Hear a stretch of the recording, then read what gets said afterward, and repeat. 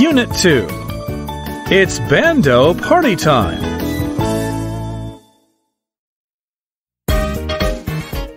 Reading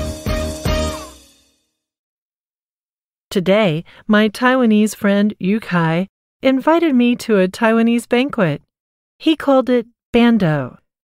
It was actually his brother's wedding banquet in Neimen, a rural area of Kaohsiung.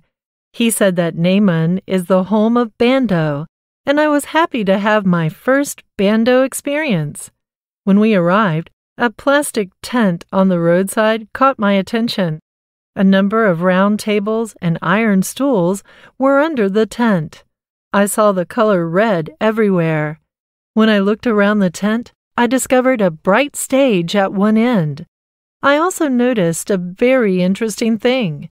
There was an outdoor kitchen. The cooks were busy preparing the meal. I heard them chopping ingredients, and the air was filled with delicious smells. Pop, pop, pop.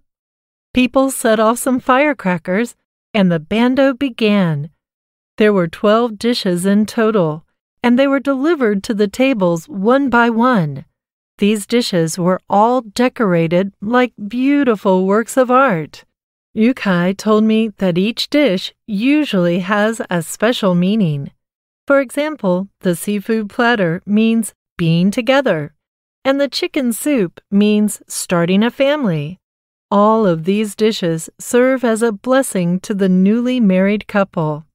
During the meal, we watched the singers perform on the stage. Then, all of a sudden, a woman put some plastic bags on our table. I was surprised that the guests started to pack all of the leftovers into the bags. Yukai explained that guests could take food home from bandos. He also encouraged me to grab some of my favorite fried taro balls. In the United States, wedding banquets are usually buffets.